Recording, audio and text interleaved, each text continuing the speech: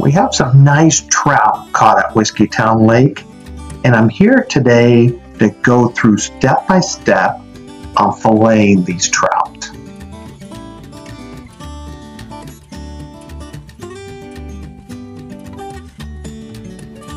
Okay, the tools I use are really simple. Just an electric bubba knife, a cutting board, and then I finish off with a vacuum sealer.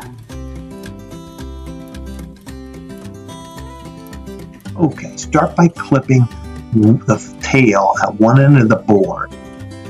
Then we'll take the bubba knife, cut straight down, and then sideways along the bone.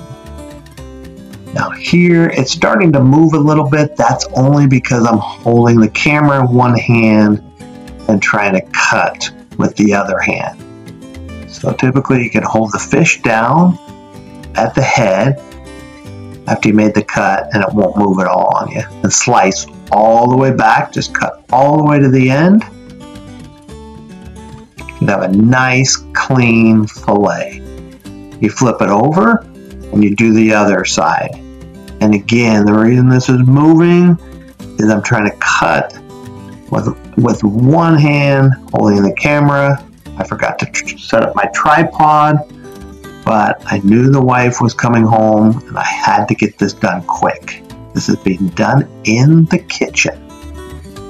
And then you flip this over and there is your nice fillets.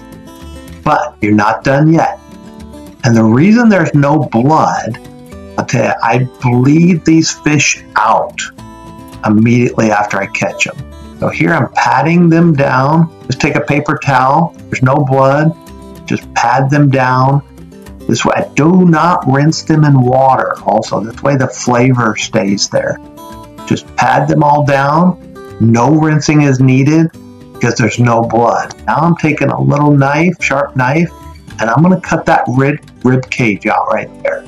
I'm going to cut that rib cage and that one out. And see, here's the finished product. Rib cages on both of them have been removed. I did not put these fillets in water at all, so the flavor is there. Now off to the packaging.